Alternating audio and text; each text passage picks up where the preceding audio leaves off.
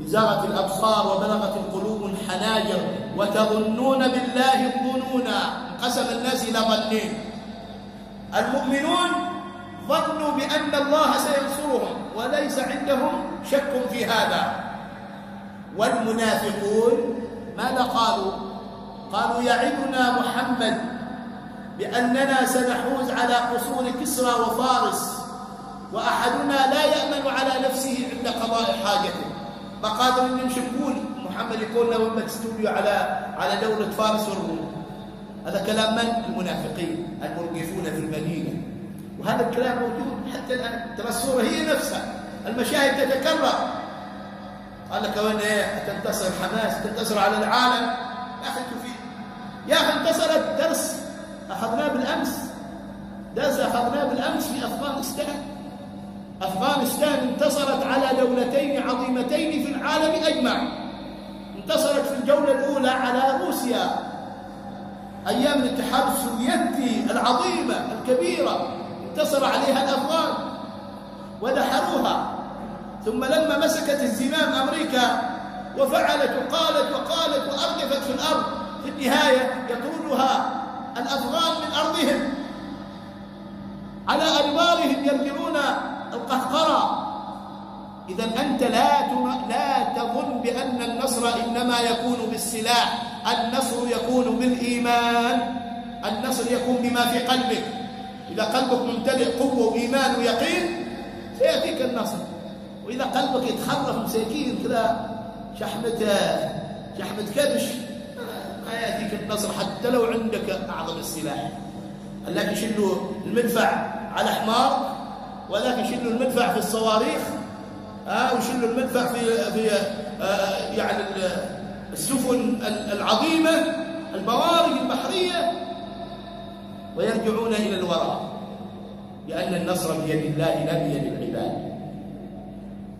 وإذ يقول المنافقون والذين في قلوبهم مرض مساكين هذه النوعيات المريضة وما أكثرها. النوعيات المريضة وما أكثرها يا أخي. إذا إحنا مشينا نفتح لهم الحلول بعدين ترى صواريخهم موجودة هنا وسفنهم موجودة هنا. يا أخي سفنهم هذه ترى البحر الله يسيره. ما أنت تسيره وإذا كنت أنت بتقاتل من أجل الأقصى إذا أنت تقاتل من أجل الله الله عز وجل هو الذي سينسف البحر عليهم. ليش أنت فزعان؟ ليش فزعان منهم؟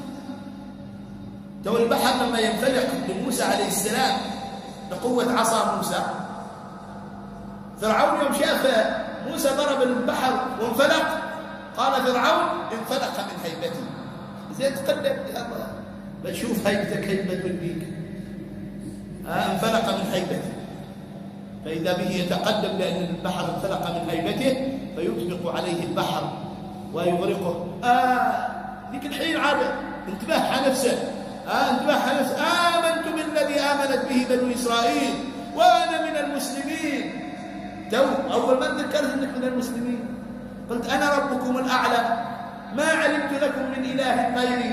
يا هامان لني صرحا لعلي أبلغ الأسباب أسباب السماوات فأطلع إلى إله موسى وإني لأظنه كاذبا. هذا قبل لكن يوم شاف محقة قال آمنت بالذي آمنت به بنو إسرائيل وأنا من المسلمين. ماذا كان الرد من الله؟ الآن قد عصيت قبل وكنت من المفسدين. فاليوم ننجيك ببدنك لتكون لمن خلفك آية هؤلاء المنافقون متكرر المشهد. والذين في قلوبهم مرض ماذا قالوا؟ ما وعدنا الله ورسوله إلا غرورا بس محمد يغرركم يبي يوجهكم في القتال وخلاف غيبوا فيها. وإن قالت طائفة منهم من من؟ من المنافقين.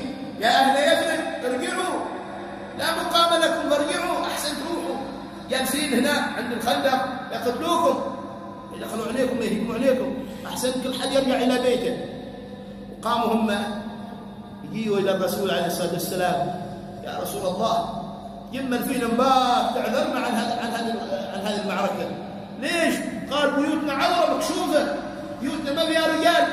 نخاف أحد يسرقنا ولا حد يهجم على أولادنا وعلى حريمنا ما شاء الله عليكم ويستأذن فريق منهم النبي. يقولون إن بيوتنا عورة وما هي بعورة؟ إن يريدون الله يكذبهم قل ما فيها عورة ولا شيء. إن يريدون إلا فرارا. الهدف إنهم يطيروا عن المعركة ينسحبوا. عشان إيش؟ عشان ما ما يفزعوا يعني أصدقائنا وأحبابنا. حمامات السلام. ولو دخلت عليهم من أقطارها. ثم سئلوا الفتنة لأتوها وما تلبثوا بها إلا يسيرا. إيش يعني؟